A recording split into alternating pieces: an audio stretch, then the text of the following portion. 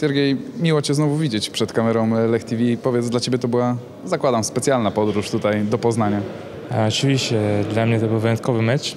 No przede wszystkim z tego powodu, że wrócę na stadion, wrócę na wrócę, zobaczę tych kibiców wspaniałych. Yy, No i fajnie było wrócić, fajnie było zobaczyć i e, zadowolony, że jeszcze to pamiętałem.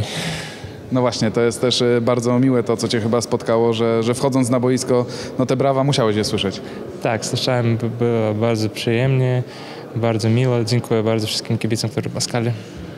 Powiedz, przypomniało Ci się wszystko, jak tak stanąłeś sobie na tej murawie, te mecze, nie wiem, z Manchesterem City, mecze z Juventusem, e, Mistrzostwo Polski tu zdobywane.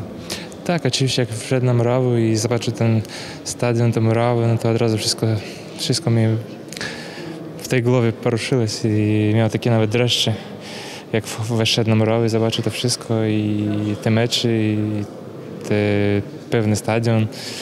Wspominałem od razu jakoś ten śnieg, który grali z Juventusem.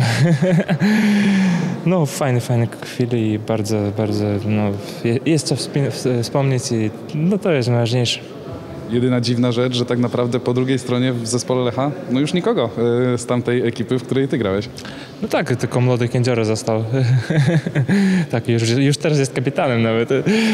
tak, no niestety lata lecą i no Buri- Burić jeszcze został, jego dzisiaj nie było. no tak, szybko, szybko lecą lata, niestety.